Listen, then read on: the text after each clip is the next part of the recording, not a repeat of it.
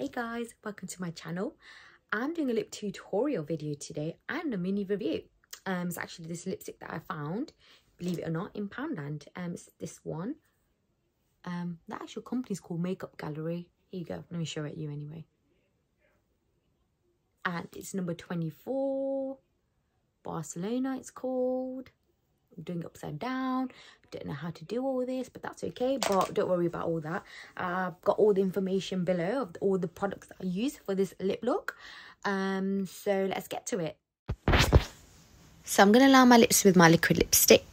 Um i do find lining my lips with a liquid lipstick is actually easier than a lip liner itself a for me personally lip liners they just can't see them on my lips anyway so i've lined all my lips here i'm just going to grab the lipstick and then put it all over my lips um, the lipstick's actually quite moist, so it does transfer quite easily, as you can see. Um, so I'm just going to mattify that down and change the tone of the lips as well. So I'm going to use my liquid lipstick for this one. Just going to put it at the bottom of my lip.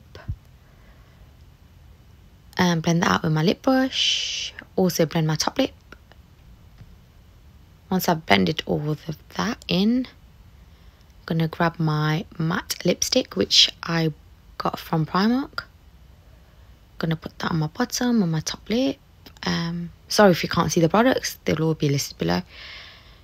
So once I put that on my lips I'll blend that out.